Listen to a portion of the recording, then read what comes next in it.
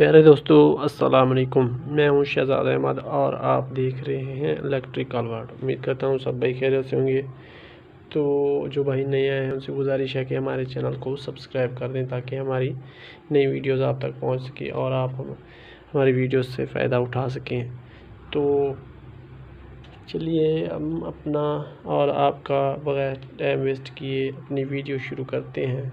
तो आज मैं आपको बताऊँगा कि आपका एलईडी बल्ब ख़राब हो गया है तो आप उसे कैसे रिपेयर कर सकते हैं और कैसे उसको दोबारा चलने के काबिल बना सकते हैं। तो आज हम इसको बनाकर दिखाएँगे आपको कि कैसे इसको बनाया जाएगा।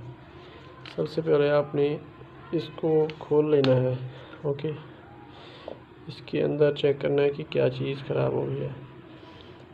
इसके अंदर हमारा जो पार्ट ख़राब हो गया है, वो ये एक एलईडी ये है और एक ये दो एलईडी ख़राब हो गए हैं, जिसकी वजह से ये नहीं चल रहा।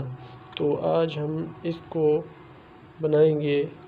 फ़र्स्ट ऑफ़ ऑल आपने ऐसे करना है कि इन दो एलईडी को इस सर्किट में से निकाल लेना है।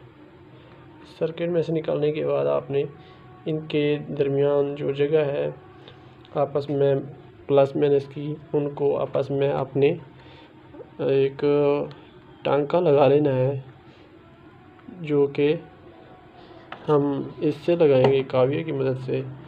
तो हम इसको बनाकर आपको चेक भी कराएँगे तो आप भी ऐसे बना सकते हैं।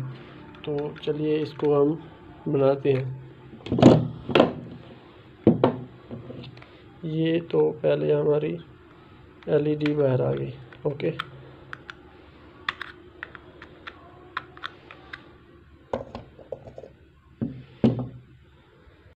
तो ये देखें, हमने ये दो एलईडी जो जली हुई थी, उनको निकाल कर उनकी जगह पर टांके लगा दिए हैं तो इसको अब हम चेक करेंगे। तो हम लगा लेते हैं होल्डर ये रहा होल्डर और मैं इसकी तार लगा लेता हूँ।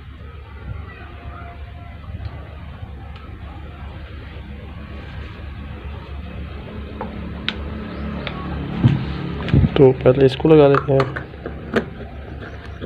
ओके। ये बिल्कुल लगी है अब चेक करते हैं इसको।